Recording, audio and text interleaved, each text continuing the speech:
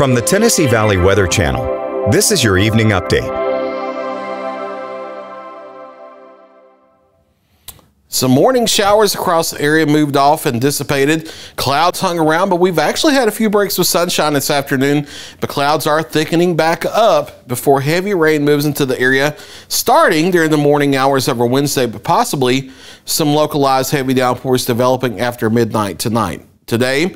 Got up into the 50s. Definitely a welcome sight after the past 10 days or so we've had across the area. Morning low was only 43, so not chilly by any stretch compared to the past few days.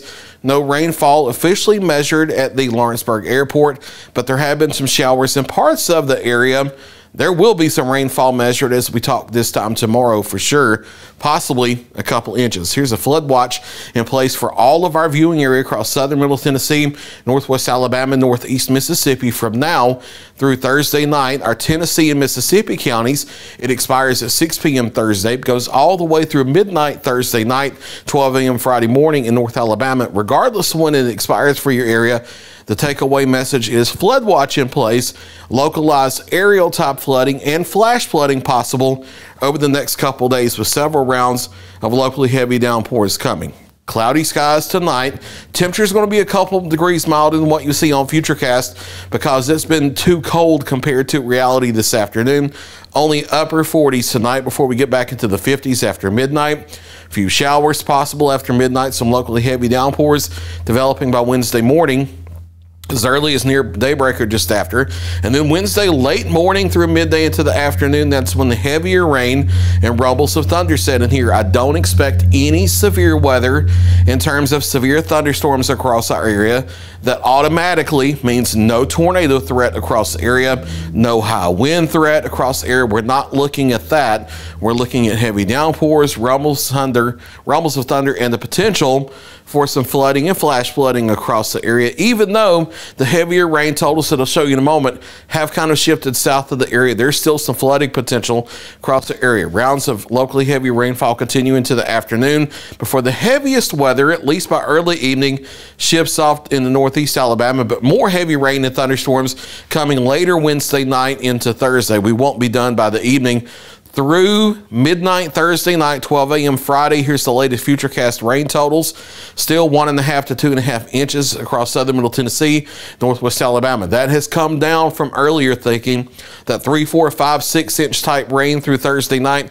That's trended south with the big thunderstorm complex. However, because of the snow melt we've had and the ice melt we've had and how the ground's still saturated, the soil moisture saturated right now, and also how the frost levels in the ground have changed. And this is going to cause more to run off than to be absorbed into the ground. Even a one or two inch rain could still cause some significant flooding and flash flooding here. It's just not that higher end type flooding potential we were maybe earlier looking at, but I still expect some flood warnings, flash flood warnings across the area for Wednesday and Thursday. And then more heavy rain, another inch or two of rain coming on Saturday. But this big training complex of thunderstorms setting up just south of us more heavy rain as we head into Thursday. A break in the widespread rain for Friday, but a few showers possible. Then low pressure system and cold front comes across on Saturday with more locally heavy downpours. Not a threat of severe weather with that because we don't have the instability necessary.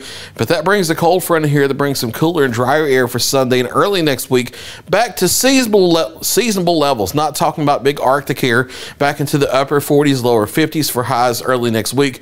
Morning lows near the freezing mark. We can handle that. That's what we usually see this time of year. Before then, we're into the 60s from Wednesday through Friday.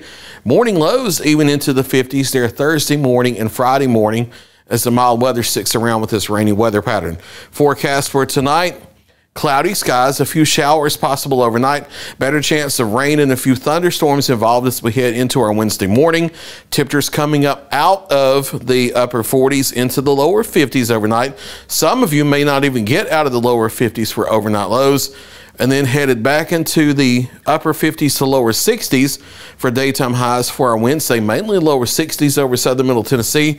Rain and thunderstorms likely. No severe storm threat out there, but there is threat of flooding and flash flooding Northwest Alabama, more the same with the low to mid 60s here. Seven day forecast looks like this heavy rain and thunderstorms with flooding possible Wednesday, Wednesday night, and Thursday. Backs off to a few showers on Friday. More locally heavy downpours possible Saturday. And then we finally clear out back to sunshine Sunday through the early next week. Daytime highs dropping on the 50s and 60s, back into the upper 40s by Sunday. There's the latest seven day forecast. I'll be back at 9 o'clock for a final check of your local weather.